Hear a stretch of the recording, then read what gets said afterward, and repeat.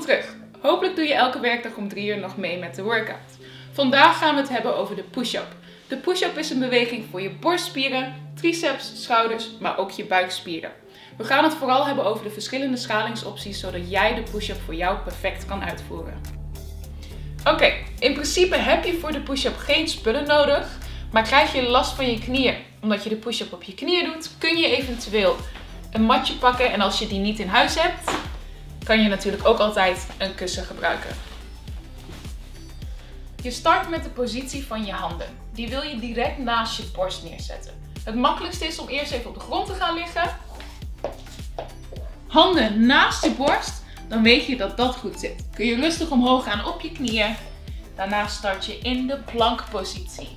In deze positie wil je erop letten dat je buikspieren, rugspieren, billen allemaal aangespannen zijn. En dat je een mooie rechte positie zit en dus niet in een brug of een ingevallen brug. Oké, je hebt alles aangespannen, dan is het tijd om rustig naar beneden te gaan. Zorg dat je ellebogen dicht langs je zij blijven. Met je borst raak je de grond aan en je duwt explosief omhoog. Wat je zag bij mijn lichaam is dat het mooi recht bleef. Je wil proberen dit te vermijden, de zogenoemde snake. Als dat gebeurt wil je meer spanning houden op je buik en je rugspieren. Heel belangrijk in deze oefening. Lukt het niet gelijk de eerste keer? Geen zorgen, we hebben een schalingsoptie voor je, omdat het best een moeilijke oefening is. Terugschalen gaan we gewoon op de knieën zitten en niet op onze tenen. Nogmaals, als je last hebt van je knieën kun je best een kussen of een matje pakken. Knieën zijn het beginpunt. Handen, precies dezelfde positie, direct naast je borst.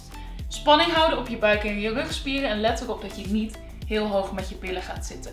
Je gaat gecontroleerd naar beneden, je borst raakt de grond aan en je duwt weer explosief omhoog. Hierbij wil je ook het sneken vermijden. Naar beneden en omhoog. Hou die spanning op je lichaam terwijl je de push-up doet.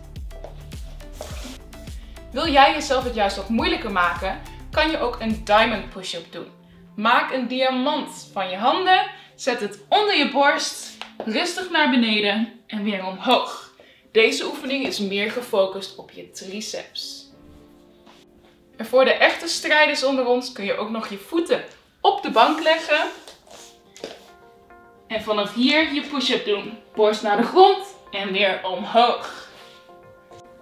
Er zijn natuurlijk meerdere variaties van de push-up op internet te vinden. Maar dit is hoe ik het mijn cliënten leer, dus dit is ook graag hoe ik het jullie zie doen. Tot slot heb ik nog een challenge voor jullie. Een story op Instagram duurt 15 seconden. Film jezelf en kijk hoeveel push-ups jij in die 15 seconden kan doen. Vergeet niet om ASM Vitality te taggen. En dan zie ik jou de volgende keer weer.